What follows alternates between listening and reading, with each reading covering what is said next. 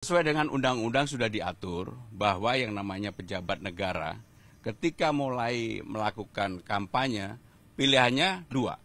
Apakah dia cuti, apakah dia mengundurkan diri. Dan ini sudah saya sampaikan kepada Bapak Presiden dan Pak Mensesnek. Mengenai apanya nanti ini kan masih tanggal 27 ya? Bukan, September baru ditetapkan. Saya akan bekerja seperti biasa, tetapi saya akan menggunakan waktu saya juga untuk mulai keliling tidak berkampanye, memperkenalkan diri. Door to door. Dari hati ke hati. Kalau dengan Mas Rano sudah ada komunikasi Mas? Lu tadi malam ke sini? Apa tuh yang diumumkan?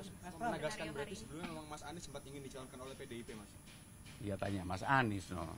Kan di situ nanyanya telepon, saya jawab telepon iya ada Tadi telepon. Mas Pram menyatakan bahwa mudah-mudahan kita cocok. Ya karena dia ke DPD PDI Perjuangan. Mas Pram, kalau boleh dijelasin dikit nggak soal pakaian yang dipakai hari ini? Ya, sama skenario hari ini.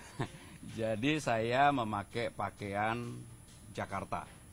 Dominannya adalah Betawi. Nanti juga saya pakai kopiah. Kenapa saya pakai pakaian ini? Karena ini Jakarta. Walaupun saya orang dilahirkan di Kediri, orang tua saya orang Jogja, saya besar di Kediri sampai SMA, kuliah di ITB dan seterusnya dan seterusnya.